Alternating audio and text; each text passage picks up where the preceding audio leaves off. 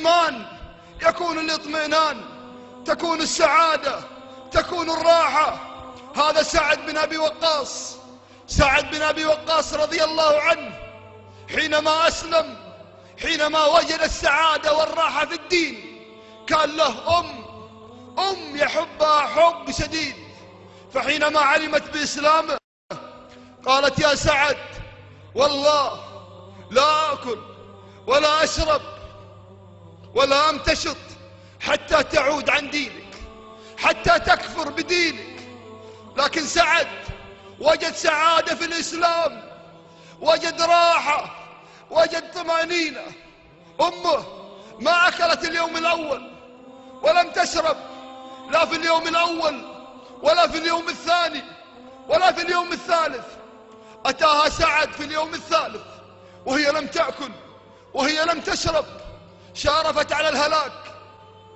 سعد ينظر إلى أمه وهي تهلك أمامه. سعد ينظر إلى أمه وهي سوف تموت إن لم تأكل وإن لم تشرب. لكن سعد وجد السعادة. لكن سعد وجد الراحة. أين وجدها؟ وجدها في الصلاة. وجدها في القرآن.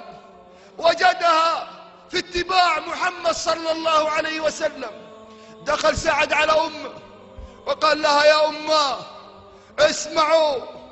قال لها يا أمه والله لو أن لك مئة نفس والله لو أن لك مئة نفس ورأيتها تخرج نفسا وراء نفس والله ما رجعت عن ديني طرفة عين والله ما رجعت عن ديني طرفة عين.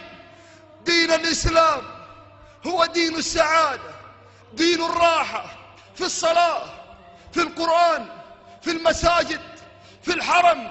والله نسعد أمام الشعشات مع الأغنيات مع المحرمات مع المسكرات والمخدرات.